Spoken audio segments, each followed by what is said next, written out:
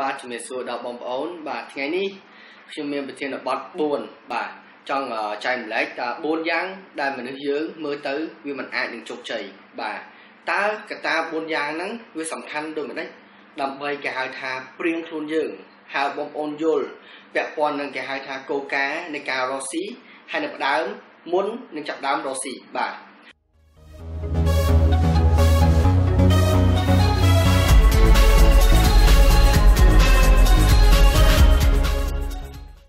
ចឹងគឺទី1គឺអ្នកដែលគេហៅថាលះបង់ពេលវេលាដូចថាលឿនហើយក៏គេហៅថាអត់សូវធ្វើបានលឿនហើយក៏លះបង់លឿនដែរបាទអញ្ចឹងវាសំខាន់ណាស់អ្នកដែលគេហៅថា give up so easily អញ្ចឹងបងប្អូនពេលយើងផ្ដើមនៅអ្វីមួយសូមពេលបងប្អូនចាប់ផ្ដើមសូមត្រូវមានការគេហៅថាវិភាគនៅចំកដាលហើយវិនិច្ឆ័យចំកដាលហើយចាំយើងបញ្ចប់ ហើយពេលបងប្អូនផ្ដើមសូមឲ្យមានពេលផ្ដើមហើយឲ្យមានកដាលហើយបញ្ចប់គុំតែផ្ដើមហើយយើងអត់ដឹងថាពេលថ្ងៃណាដែលយើងត្រូវបញ្ចប់ឬក៏ពេលវេលាណាដែលយើងត្រូវបញ្ចប់អញ្ចឹងសំខាន់ណាស់រកគោលការណ៍អ្នករស់ស៊ីទាំងអស់តែពេលគេផ្ដើមគេជោគជ័យបានគឺគេចាត់បញ្ចប់គេដឹងគេហៅថាគេដឹងមូលដ្ឋានគ្រឹះរបស់គេគេដឹងកលៈរបស់គេគេដឹងពេលវេលាណារបស់របស់គេមួយដែលគេហៅថាពេលវេលាដ៏ល្អនៃការគេហៅថា end ដូចថាឥឡូវឧទាហរណ៍មួយ ខ្ញុំចង់លក់ប៊ិចនេះមួយបាទប៊ិចហ្នឹងវាល្អបងប្អូនឃើញស្រាប់ហើយប៊ិចល្អហើយងាយស្រួលในការសរសេរតែខ្ញុំចង់លក់អត់តែអតិជនខ្ញុំបែបណាអញ្ចឹងគឺទីដំបូងខ្ញុំចាប់ដើមសិក្សាបាទអូប៊ិចនេះវាចេះចេះចេះវាម៉ាក់ចេះចេះចេះអញ្ចឹងគឺយើងលក់អត់តែអតិជនយើងមុននឹងលឹងលក់អតិជនយើងតែយើងដឹងអតិជនយើងនៅក្នុងកម្រិតណាបាទអញ្ចឹងអតិជនយើងខ្នាតមជ្ឈុំកដាលឬក៏គេហៅថាខ្នាត high class តែម្ដងអញ្ចឹងប៊ិចបែបនេះគឺគេហៅថា អ្នកណាក៏អាចប្រើបានដែរទូទៅបាទអញ្ចឹងគឺខ្ញុំលក់អាចដូចថាអ្នកណាក៏ដោយឲ្យតែគាត់ពេញចិត្តគឺយើងចាប់ដើមលក់ប៉ុន្តែពេលខ្ញុំចាប់ដើមលក់យើងត្រូវសិក្សាច្បាស់ពីប៊ិចនេះយើងត្រូវយល់ដឹងអំពីប៊ិចនេះឲ្យច្បាស់អញ្ចឹងគឺដូចខ្ញុំលើកឡើងអញ្ចឹងពេលយើងនឹងលក់គឺយើងត្រូវ end the sell បាទយើងត្រូវប្រាប់ខ្លួនឯងថា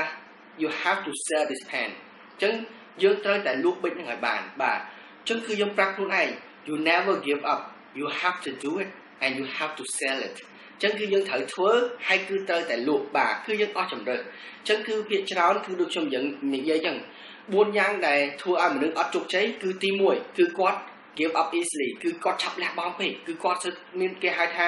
ភាពតស៊ូអត់ធ្មត់មោះមុតនៅអ្វីដែលគាត់ស្រឡាញ់ហើយនៅអ្វីដែលគាត់ធ្វើហើយពេលគាត់ដើម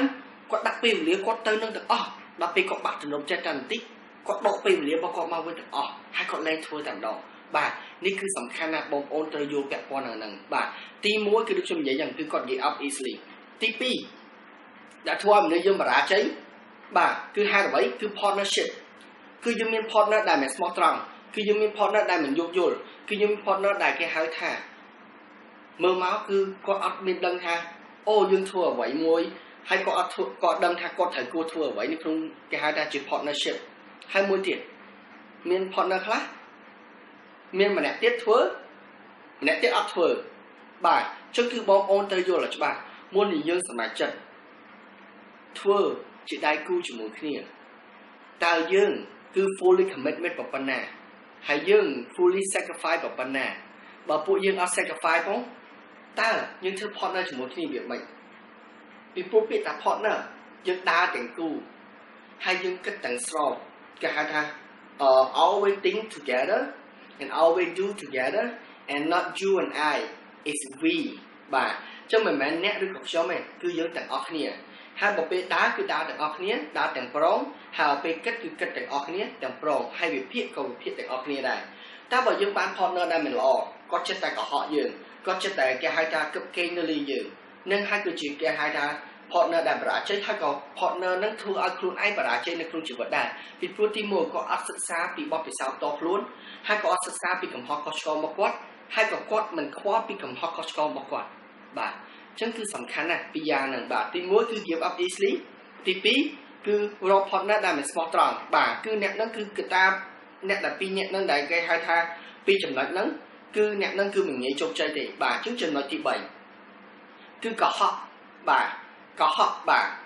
ធ្វើអ្វីក៏ដោយកុំបោកភ្ញៀវហើយធ្វើអ្វីក៏ដោយគឺស្មោះត្រង់ទៅអតិជនពីព្រោះហេតុអ្វីបាទពួកយើងមិនមែនរកស៊ីតែជាមួយតែភ្ញៀវម្នាក់ហ្នឹងទេ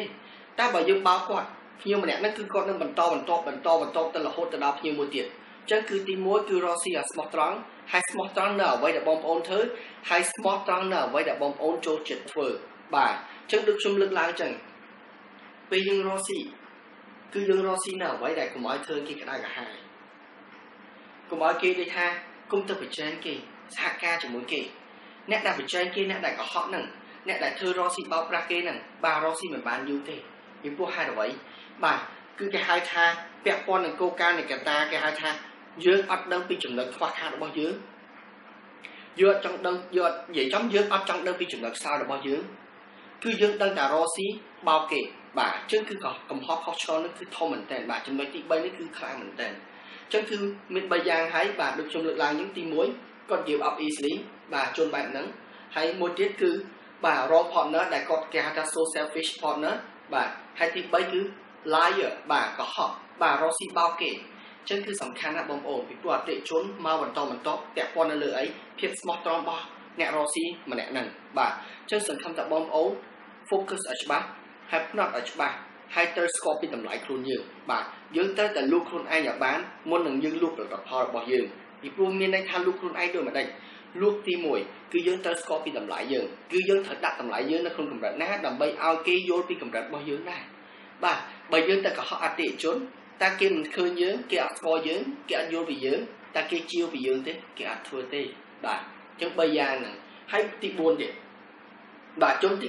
4ហេតុអ្វីបានគាត់មិនជោគជ័យ គឺទី1ភាពភ័យខ្លាចរបស់គាត់គាត់អត់ overcome the fear នេះរបស់គាត់គាត់ចង់ធ្វើមែនតើគាត់បដើមបាទដូចចំណុចទី1ចឹងគាត់បកគោលពេលវេលាគ្រប់បែបយ៉ាងទៅអាជីវកម្មមួយហ្នឹងដល់ពេលហើយគាត់គាត់បាក់បង់ទំនុកចិត្តបន្តិចគាត់ give up ហើយមួយទៀតគឺគាត់ភ័យខ្លាចមែនទែនគាត់ចង់ធ្វើអាហ្នឹងដោយសារគាត់បរាជ័យទី1ឯងតែគាត់ឃើញឱកាសហ្នឹងតែគាត់អត់ព្រមឯងគាត់គេថាស្ទាក់ស្ទើរស្ទាក់ស្ទើរចឹងគាត់សុខចិត្ត give up គាត់សុខចិត្តឲ្យទៅ ចឹងអាអាអាភាពភ័យខ្លាចរបស់យើងហ្នឹងបើយើងអាច overcome បានវាធ្វើឲ្យយើងមានចំណុចខ្សោយហើយវាធ្វើឲ្យយើងហ្នឹងមានបន្ទិលមួយដែលយើងមិនចង់ខិតពីការថាមិនអាចជោគជ័យបានពីព្រោះឱកាសនៅចំពោះមុខឱកាសខ្លះទៅជាឱកាសបានពេលយើងយកឱកាសមកធ្វើជាឱកាសអញ្ចឹងក្នុងថ្ងៃនេះគឺខ្ញុំមាន4ចំណុចហ្នឹងដែលដែលគេហៅថាចង់បង្ហាញបងប្អូនអ្នកដែលមើលទៅ4ចំណុចហ្នឹងមើលទៅអ្នកដែលបើមានកត្តា4ចំណុចហ្នឹងគឺមិនអាចជោគជ័យបានទេក្នុងជីវិតគឺទី1បាទដូចខ្ញុំលើកឡើងអញ្ចឹង លះបង់លឿនពេកទី1លះបង់លឿនពេកទី2គឺយើងរកដៃគូសហការជាមួយយើងខុសបាទពួកគាត់អត់យល់ពីកត្តានៃការលះបង់នៃការសហការជាមួយគ្នា ទី3គឺយើងរកស៊ីបោកគេបាទរកស៊ីបោកគេគឺមិនអាចជោគជ័យទេបាទហើយទី4គឺយើងខ្លាចពេកបាទភាពដែលខ្លាចរបស់យើងហ្នឹងមិនមែនឲ្យយើងខ្លាចទៅធ្វើបញ្ហាការថាអត់ឲ្យយើងខ្លាចរឿងបញ្ហាខុសច្បាប់ទេណាយើងត្រូវយល់ បាទរឿងបញ្ហាខុសច្បាប់គុំធ្វើប៉ុន្តែគឺយើងកុំឲ្យខ្លាចនៃការគេហៅថាប្រឡូកនៅក្នុងវិស័យរកស៊ីកុំឲ្យខ្លាចនៅក្នុងប្រឡូកនេះគេហៅថាចាប់ដើមសិក្សាចាប់ដើមកែតម្រូវខ្លួនឯងចាប់ដើមសិក្សាពីចំណុចខ្វះខាតរបស់យើងបាទកុំខ្លាចពីពាក់ព័ន្ធនឹងបញ្ហាហ្នឹងបាទអញ្ចឹងគឺយើងត្រូវយល់ពីខ្លួនឯងច្បាស់អញ្ចឹងគឺបងប្អូន4យ៉ាងបាទនេះគឺជាមតិរបស់ខ្ញុំ4យ៉ាងអ្នកដែលមើលទៅមិនអាចជោគជ័យបានគឺទី1គាត់ give up easily ទី2គឺបាទគឺដូចខ្ញុំលើកឡើងអញ្ចឹងគឺ partner ខុស ទី3គឺកុហកអតិជនទី4គឺកុសភ័យខ្លាចបាទអញ្ចឹងសង្ឃឹមថា4យ៉ាងនេះបងប្អូនដែលស្ដាប់នឹងគឺកុំឲ្យមាបើកុំឲ្យមានកតា4ហ្នឹងបាទហើយសង្ឃឹមថាជូនពរបងប្អូនឲ្យជោគជ័យជានិច្ចបាទអញ្ចឹងអរគុណហើយជម្រាបលាបាទអរគុណច្រើនបាទជម្រាបលា